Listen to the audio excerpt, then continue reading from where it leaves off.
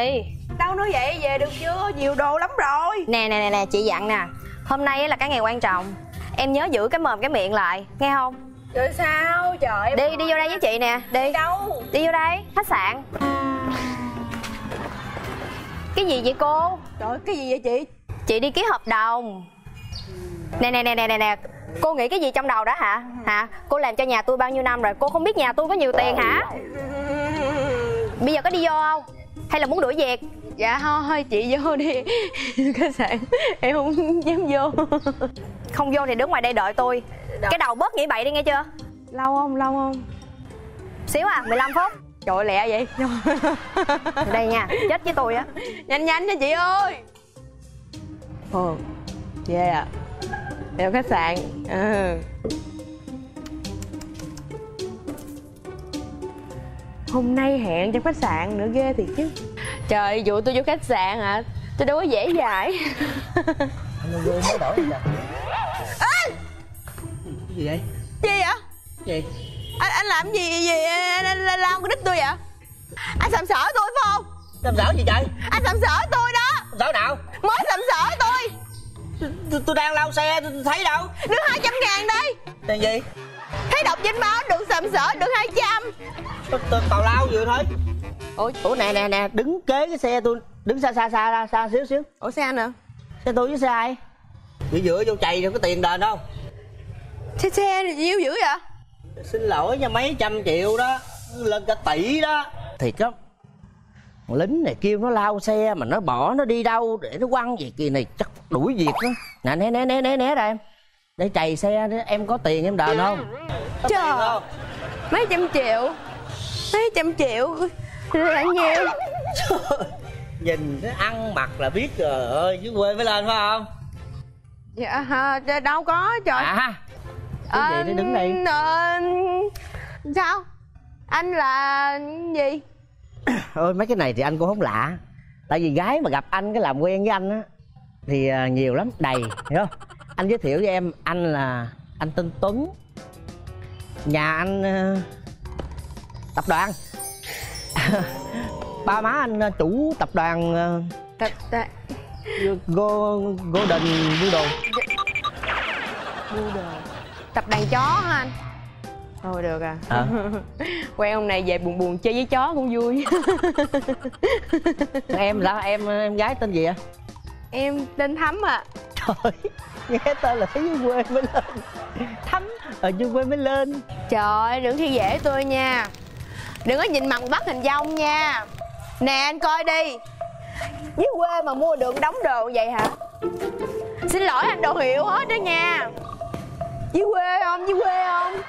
Trời ơi đừng nghĩ tôi nhà nghèo không có tiền nha. Xin lỗi anh nè à nói vậy đây là cũng là tiểu thư hả? Chứ sao trời ơi, tôi phải giả dạng vậy chứ lỡ ra đường giàu quá người ta hả lừa gạt tôi sao? Trời ơi. Ngon à. Kỳ này mà ráng mà vớt được nhỏ này cái. Kẹo thơm kẹo thơm. Ủa mà tiểu thư đi ờ, đi mua sắm rồi sao không kêu ờ, người phụ rồi nó khiêng sách đồ cho đi chi cho cực.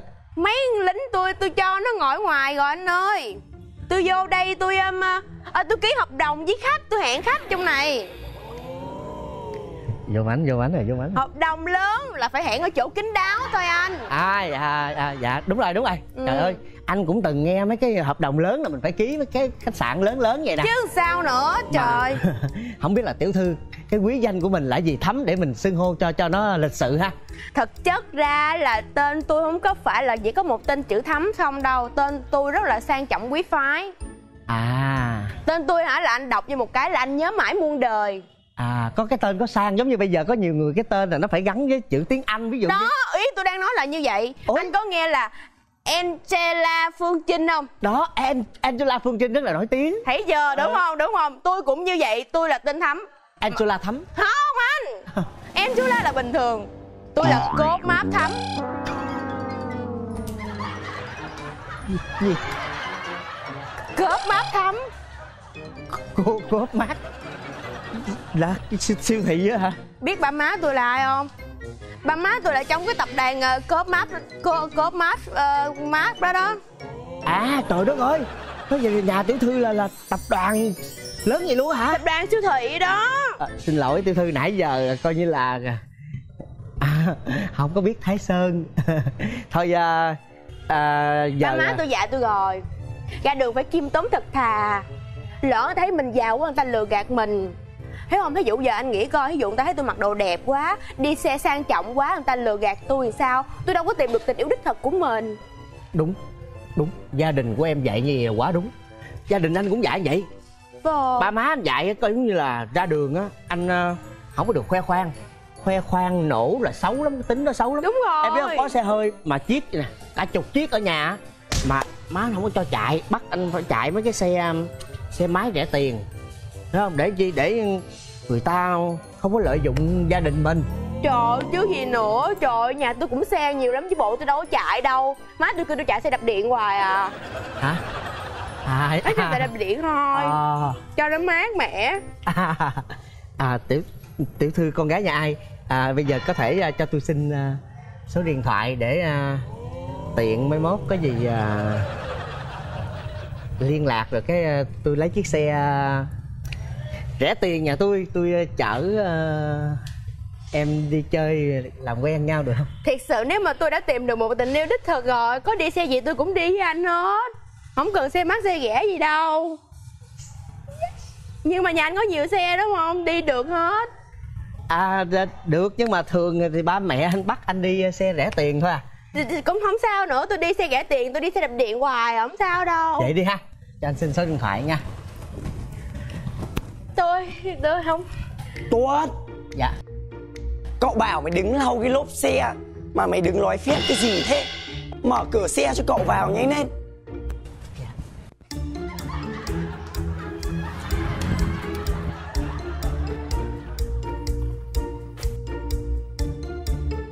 Ôi dồi ôi Cái xe gì mà nó ngột ngạt thế? Mày làm tài xế kiểu gì mà không biết bật cái máy lạnh cho nó mát cái yên để cậu ngồi à Muốn bị đuổi việc à? Dạ cậu vô đi con. Bật liền dạ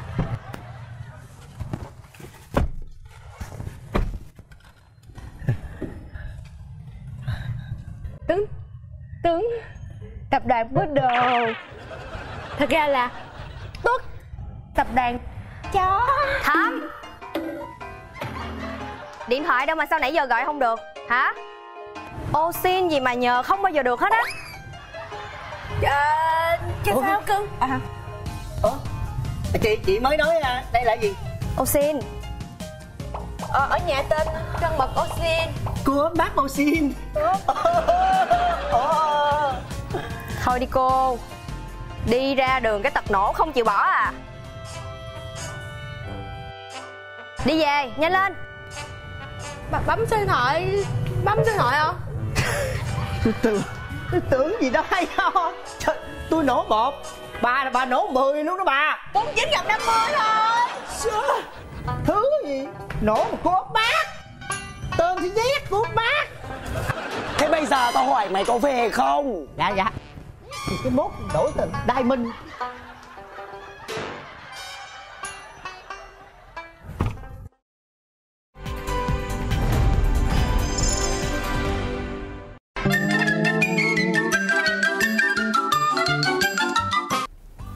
đánh vợ tử vong vì thói lèm bẹp Ông xã. Gì vợ Có nhớ hôm nay là ngày gì không? ngày gì? Anh không nhớ hôm nay là ngày gì hết hả? tiền hụi mới đóng hôm qua rồi mà ta. Không phải tiền hụi.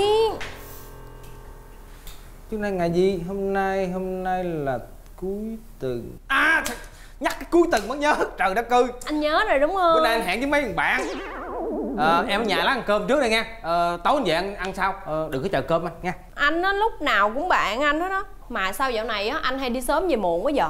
công việc anh còn đang đăng lên anh phải đi lo công việc của anh chứ. Lúc á hả anh mới cưới em á Anh nói hả là anh sẽ luôn dành thời gian cho em. Vậy mà bây giờ lúc nào cũng đi sớm về muộn. Hay là dạo này anh có cô nào ở ngoài rồi đúng không? trời đất ơi trời đất ơi cô nào ở ngoài bình em mà chịu cũng không nổi rồi cô nào nó chắc chết luôn á trời. Mệt ghê. Anh nói em nghe nè anh đi làm thì anh phải có những cái cái, cái mối quan hệ thì anh phải đi anh ăn anh nhậu này nọ với bạn bè đồng nghiệp. Công việc ừ, của anh anh phải làm chứ thì sao? Em là vợ anh em phải hiểu và thông cảm với anh chứ. Đằng này em mà cứ còn nghi ngờ lung tung này nọ đó. Nghi gì nghĩ đi tôi đi ạ à. anh hưng anh hưng anh đi đâu vậy?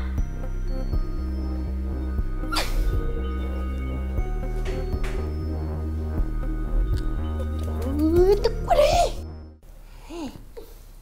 Sao? Buồn cái gì? Cái mặt sao bực bội với tôi vậy hả trời? tao không có bực với mày Vậy chứ mày bực ai? tao bực chồng tao Bực ổng thì quánh ổng đi trời ơi con nhỏ này Hả? tao kêu mày qua để mày khuyên răng tao mày tìm cách giải quyết cho tao mà Mày hỏi đúng người rồi đó Làm Sao? Chồng mày làm gì? Ngoại tình hả? Hay là sao? Bạo hành với mày? Hay là xúc phạm má của mày? Xúc phạm ba của mày? những cái lý do mày đưa ra đều không phải. Phụ nữ của mình trong cuộc sống hôn nhân thì không có cái gì để bực bội cái người chồng của mình ngoài những lý do đó cả. Sao không bực? Mày nghĩ coi hôm nay là kỷ niệm 5 năm ngày cưới. Tao hỏi ông cũng không nhớ mà ông còn bực bội với tao rồi ông đi đâu mất tiêu rồi kìa. Kỷ niệm 5 năm ngày cưới mà không nhớ? Đã vậy là còn bỏ đi nữa. Ồ. Rồi ok tao giải quyết cho. Bỏ chồng này đi lấy chồng khác. Đi về đi dân ok tao về rồi mày ờ, khi nào ký đơn ly dị xong thì kêu tao ra tòa trời ơi tao tức mày quá. Vậy nữa. Mày phải tìm cái hướng giải quyết nào cho vợ chồng tao hòa thuận với nhau chứ. Ủa? Thì giờ mày đang bực ổng. Rồi bây giờ mày muốn hòa thuận với ổng thì thôi mày đừng bực bực ổng nữa. Còn còn mày vẫn còn bực thì mày, mày bỏ ổng đi. Thì đó thì chỉ có hai cách vậy thôi mà. Nhưng hay là ông có con con nào khác ở ngoài rồi mày? Sao mày mâu thuẫn quá tao mệt mày ghê á. Im để tao suy nghĩ coi.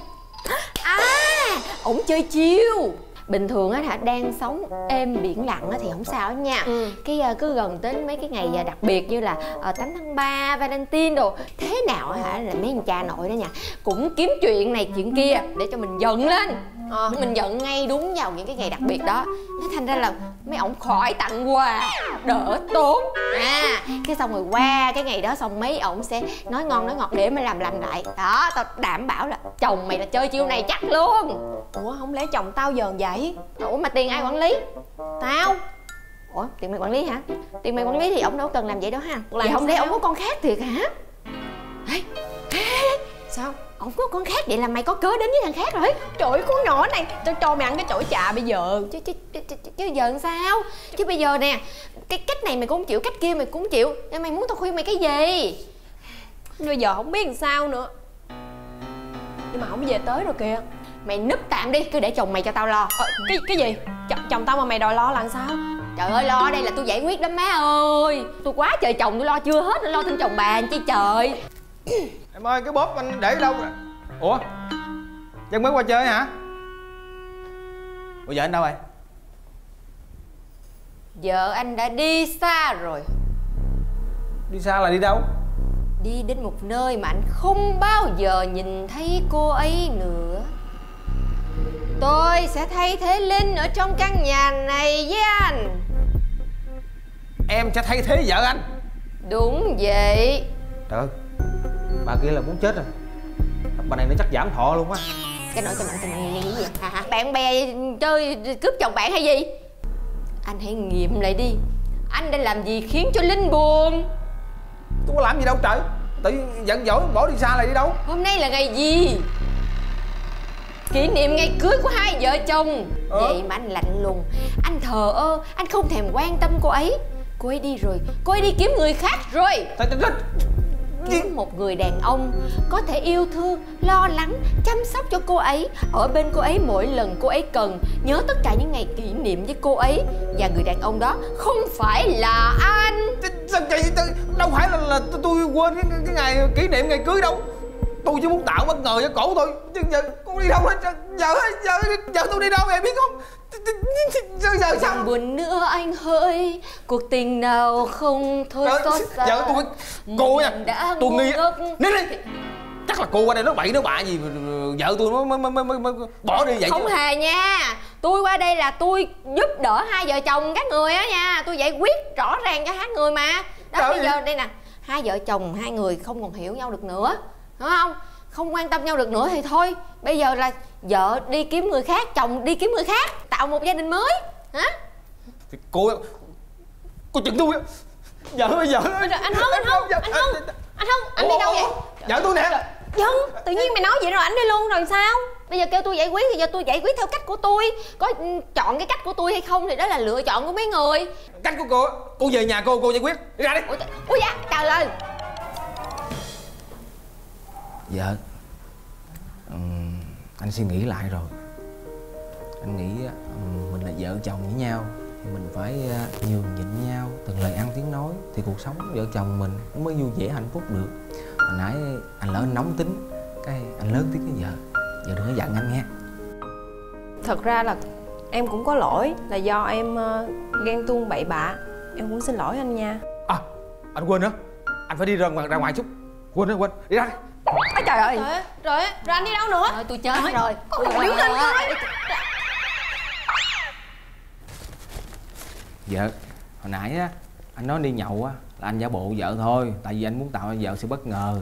Mà tại vì chưa gì hết cái bị vợ la mất tiêu rồi. Anh vẫn nhớ hôm nay là ngày kỷ niệm ngày cưới của tụi mình chứ bộ. Anh tặng cho vợ nè.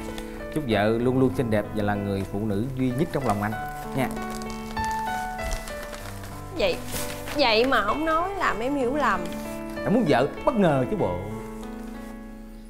Ai... Tôi chết rồi. Nhớ chôn tôi Nhớ cúng cho tôi. Mày đó chút xíu nữa mày làm vợ chồng tao hiểu lầm với nhau rồi đó mày thấy chưa? Cuối cùng thì bây giờ vợ chồng các người có hiểu lầm nhau không? Cuối cùng bây giờ vợ chồng các người ở bên nhau Hay là vợ chồng các người chia tay nhau? Xin lỗi nghe vợ chồng tôi rất hạnh phúc. Đó là chiều của tôi đó. Lui để tiến. Dạ hôm nay kỷ niệm ngày cưới vợ nói một câu gì cho chồng nghe đi. Ừm, em yêu chồng em nhất. Chồng cũng yêu vợ nhất